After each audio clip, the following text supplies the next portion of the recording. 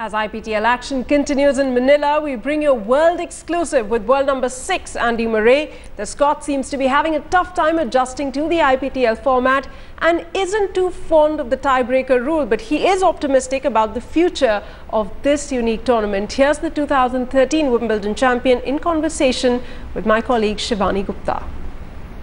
One of the biggest stars uh, to play in the IPTL is, of course, uh, former world number two Andy Murray. Andy, enjoying the format, enjoying the team tennis, and being out on the court. Yeah, it's been good fun. Um, you know, it's been a quite a big adjustment um, from what we're from what we're used to. So, but but it's been good. You know, it's, it's different. We play the same way all year round, same format um, for the last 10 years. So to do something like this is uh, it's good, it's challenging, and um, the players are enjoying themselves. So that's that's important. Yes, that's the key. Actually, the players themselves seem to be enjoying it quite a bit. You had a few laughs and egged the crowd on uh, on the court. Uh, personally, for you, as you said, very different from playing regular on the court. Yeah, I mean, you know, the, the crowd have been right into it, and you know, we've needed a lot of the support. We've struggled so, so far, and yeah, I hope uh, hope tomorrow we can we can do a bit better. But yeah, like I said, it's been you know for the first time that the event's been on, I think it showed that it, it can work. That the players are um, you know very excited. You know everyone's getting on well on the court, and you know it's, it's nice to see. You don't you don't see that in tennis um, really at all. Sometimes during Davis Cup, but it's been it's been good so far.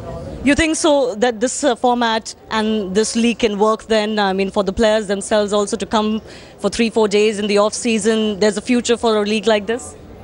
Yeah, I mean, I, I, don't see why, you know, obviously for the players, as with it being the first year, we didn't know exactly how it was going to go, so not all of the players committed to, to play more than a few days, and, you know, with, with the way that it's gone this year, you know, maybe maybe players will, will play a little bit longer, and you know, I'm sure it'll, it'll, become more successful. You know, providing the, the players keep coming and the fans are enjoying it. So um, yeah, hope it, hope it keeps going. How did you, uh, you know, prepare yourself for these matches? Is it as intense? Uh, do you take it as intensely as you would otherwise?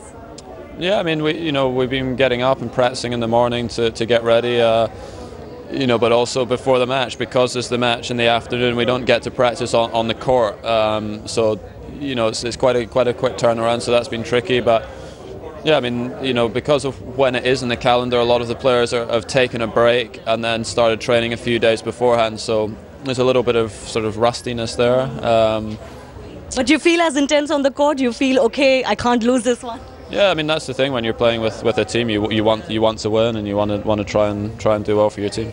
Finally, what do you make of the quirks in the rules, the PowerPoint, and uh, you know t- uh, timeouts and in playoffs and shootouts? Uh, those things add to the add to the fans' value. Yeah, I mean I like it a lot. I mean you know all of the all of the different uh, ways of scoring and yeah, like you say that the powerpoints and the timeouts are good. I, I don't like the, the tie-break rule so much um, because it forces players to kind of rush and, and, the quality of the tennis goes down a little bit. But apart from that, all of the other rules are a good fun. We'll miss you in Delhi, but thanks a lot for talking to us. Okay. All right, so that was Andy Murray playing for the Manila Mavericks. Uh, of course, he won't be in Delhi, but uh, we'll see some other stars like Roger Federer and others uh, playing for the Delhi team. Uh, for headlines today, Shivani Gupta in Manila.